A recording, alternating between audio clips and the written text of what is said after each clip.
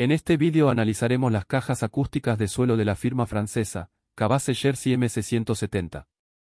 Compartiremos las impresiones que genera y recomendaremos los amplificadores integrados que mejores resultados dan a nuestro parecer. Antes, te extendemos la invitación si aún no lo has hecho, a suscribirte a nuestro canal. Tu suscripción es de gran ayuda y nos permite seguir creando contenido. La empresa francesa Cabase, fundada en 1950, lanzó sus primeros altavoces, un dos vías diseñado para el cine Cinemacop, se construyó alrededor de un controlador coaxial. Desde entonces, estos transductores se han convertido en una especie de marca registrada de la firma, que se han desarrollado y utilizado durante más de 60 años. El famoso tope de gama La Expert presenta un transductor coaxial de tres vías complementado por un woofer de 55 centímetros. Esta fue la máxima encarnación de la idea de un sonido de fuente puntual, ya que todos los diafragmas tenían un eje común y estaban integrados unos en otros. Curiosamente, este diseño incluye también cuatro amplificadores de potencia mono por canal, cada uno de los cuales acciona un diafragma en un altavoz. Al comprar la Expert, un comprador afortunado se convirtió en propietario de dos grandes altavoces con elegantes soportes, ocho amplificadores mono y una unidad de control adicional. Tan inusual como el diseño de estos altavoces que es reflejada en su nombre. La nueva unidad coaxial es el principal atractivo de estas cajas, ya que garantiza características de radiación de fuente puntual en los medios y agudos. Es más que obvio que el diseño coaxial gusta, ya que KEF y finalmente el AC lo explotarán en su serie populares. Para este modelo, la empresa francesa ha desarrollado un transductor coaxial completamente nuevo. Los Jersey MC170 son altavoces de suelo de tamaño medio de tres vías que miden menos de un metro de altura y con un deflector frontal estrecho de 21 centímetros llaman la atención por su fabricación y acabado de alta calidad y la presencia inusual para este rango de precios de un controlador coaxial. Este es un desarrollo de un diseño utilizado anteriormente para el modelo Eole de Cabase. Debajo, todavía en el deflector frontal, se encuentran dos woofers.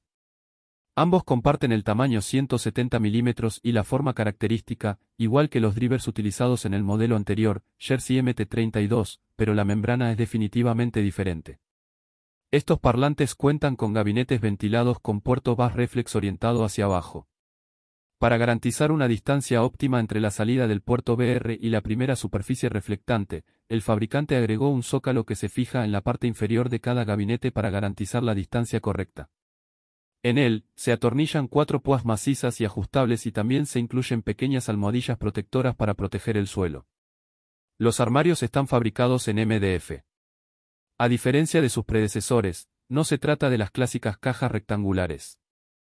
El deflector frontal es ligeramente más ancho que el trasero, mientras que las paredes laterales están ligeramente redondeadas, lo que permitió a los diseñadores evitar demasiadas superficies paralelas, evitando así la formación de ondas estacionarias dentro de los gabinetes.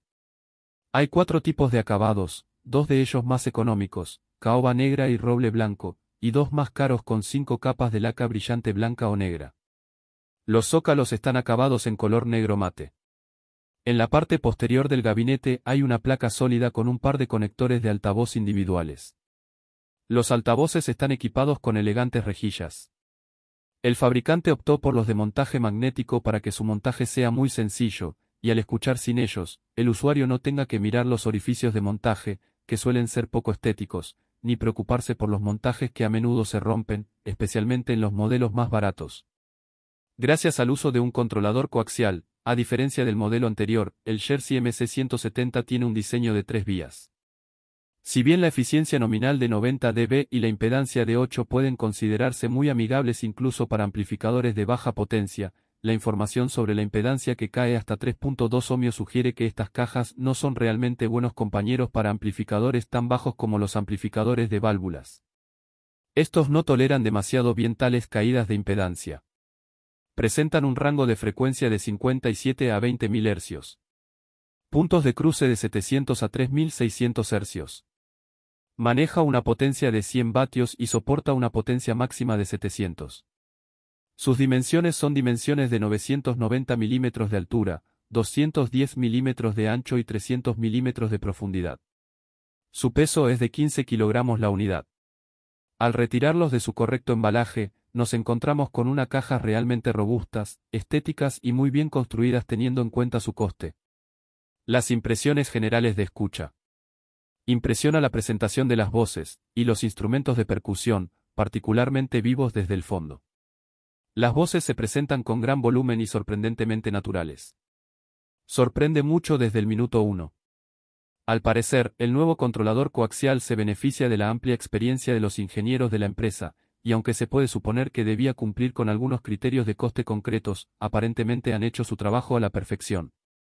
Con seguridad estas cajas robarán el corazón de inmediato, dinámica instantánea, vivacidad y musicalidad, con un flujo de nivel de referencia, líneas melódicas y pausas que convierten la reproducción de audio en una experiencia musical total.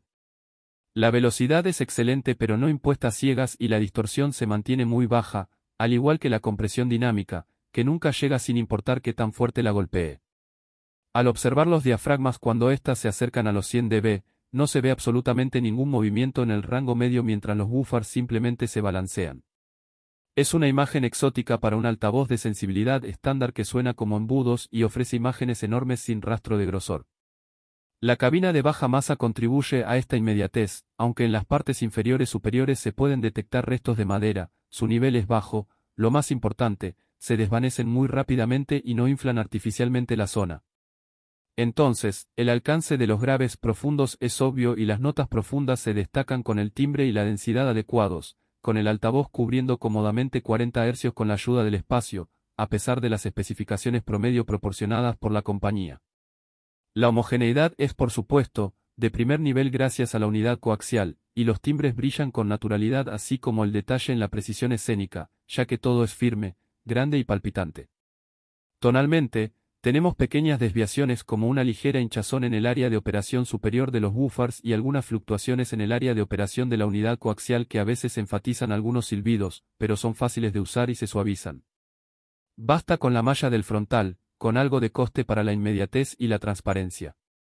Este generó un escenario sonoro que comenzaba detrás de la línea de los altavoces. Las voces nunca se posan por delante de esta línea y aún así, logra centrar la atención en ellas por completo. El resto de los sonidos se sitúan claramente detrás en un escenario bastante profundo. Cada uno de los instrumentos estaba colocado con precisión en el escenario y aunque sus contornos no estaban claramente descritos, eran tridimensionales, tenían masa suficiente para convencernos que la banda estaba a solo unos metros de distancia. El sonido en general es casi realísticamente profundo. Presenta todo tal y como está grabado. Pueden crear la impresión de unos graves bajos y profundos, incluso en prácticamente todo tipo de género. Podemos decir que esta es la virtud principal de estar ante un verdadero tres vías. Con pasajes rápidos presentan bajos cortos, ajustados e incluso bastante duros, y cuando es necesario, los bajos se presentan profundos permitiendo, no solo escuchar sino también sentir las notas más bajas. Estos altavoces franceses diferenciaron y saturaron muy bien los graves. Podemos afirmar que estas cajas pueden comunicar tanta información que no tendrás tiempo para relajarse, increíblemente reproduce toda la información presentada. Esto es algo realmente impensado en cajas de este segmento de precio. Hasta podemos decir que tienden a mejorar grabaciones que suenan mal. Lo hace realmente muy bien incluso con pistas más rápidas, diferenciando muy bien todo el rango, sorprendiendo con su rango dinámico y potenciando los graves medios y superiores con mucha fuerza. Saturan y diferencian muy bien el rango medio, donde en casi todo tipo de género ocurre la mayor acción, al mismo tiempo que suenan puros y bastante transparentes. Estos últimos elementos tienen un gran impacto en la percepción de toda la presentación, que se presenta bastante brillante. No demasiado brillante, pero lo suficientemente abierto y transparente como para crear esta impresión, lo cual fue sorprendente considerando el precio de estas cajas. Además, muchos altavoces, especialmente aquellos relativamente económicos, tienen cierto énfasis en el rango medio-bajo grave superior para que suenen más amigables, pero parece que los ingenieros franceses no eligieron usar este tipo de truco. No se trata de presentar detalles intrusivos, o de enfatizarlos, una actuación así podría ser buena para analizar la exactitud de la grabación, pero no cuando se trata de disfrutar de la música. El mérito de esta característica, así como de la apertura y claridad de este sonido, y también de la extraordinaria coherencia de este nuevo controlador coaxial. La coherencia es una característica intrínseca de este tipo de altavoces. En estas cajas, el coaxial reproduce el rango desde 700 Hz, el Twitter toma el relevo a partir de 3600 Hz y actúa como fuente puntual. Esto se combina en una presentación que en términos de coherencia es difícil de igualar usando dos transductores clásicos separados. El rendimiento de estas cajas de tres vías es más de alta fidelidad que el de la mayoría de sus competidores. Tiene sus ventajas y desventajas. Lo bueno es que se pueden combinar con un sistema con componentes más caros y no serán necesariamente el eslabón más débil, no colorearán el sonido, no impondrán su propio carácter sonoro. La desventaja, o debería decir inconveniente, es que no logran ocultar demasiado bien las deficiencias del sistema de acompañamiento o de las grabaciones reproducidas.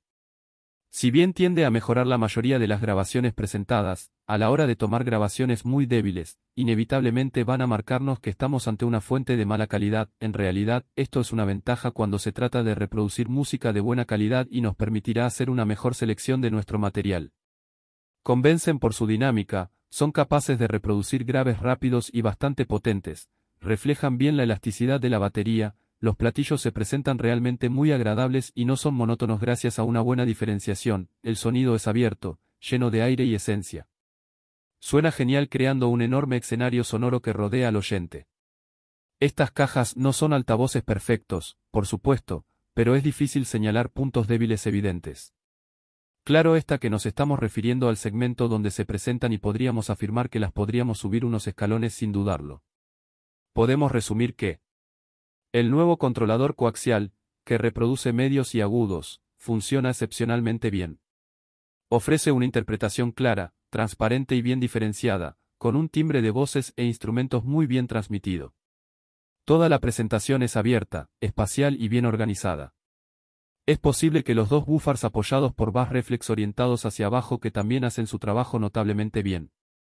Los graves están muy bien extendidos incluso si no cubren la parte más baja del rango, no están redondeados en la parte inferior ni coloreados en ninguna parte.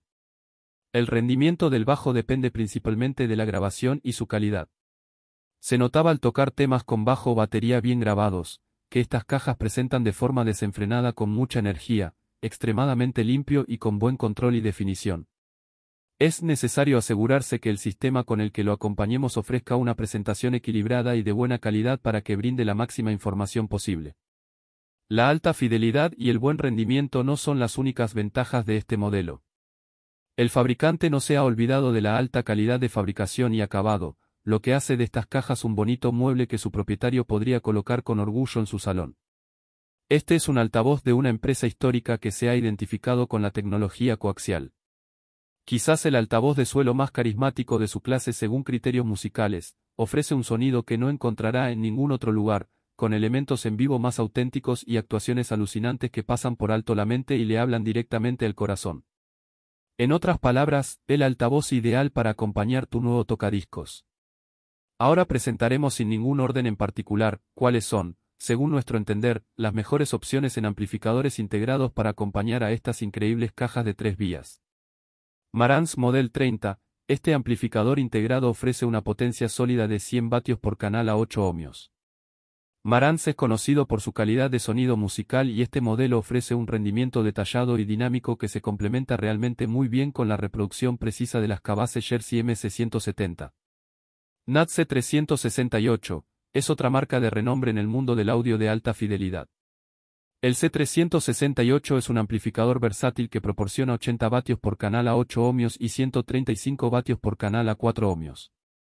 Además, cuenta con opciones de conectividad modernas, como Bluetooth y Wi-Fi, lo que lo hace ideal para integrarse en sistemas de música en red.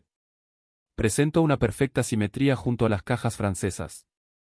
Cambridge Audio CX-A81, este amplificador ofrece una potencia robusta de 80 vatios por canal a 8 ohmios y 120 vatios por canal a 4 ohmios. La firma sónica de Cambridge Audio es conocida por su claridad y detalle, lo que se combinaría bien con la reproducción precisa de las Cavase Jersey MC170.